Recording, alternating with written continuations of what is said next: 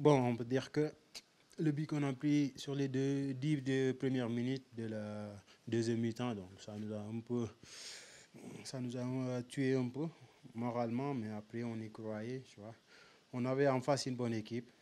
Euh, on savait que c'est des, des, bons joueurs, petits détails, rapides, tu vois, qui jouent au ballon. On savait que ça allait être difficile.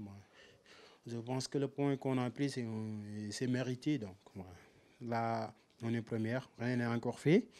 Ça reste le dernier match qui va être un match décisif, un match très important contre les favoris de la l'Algérie, une bonne équipe. On n'a pas peur, on n'a pas peur d'eux. C'est un match de foot. On va bien se reposer et bien se préparer pour être prêt le jour J pour aller chercher la victoire.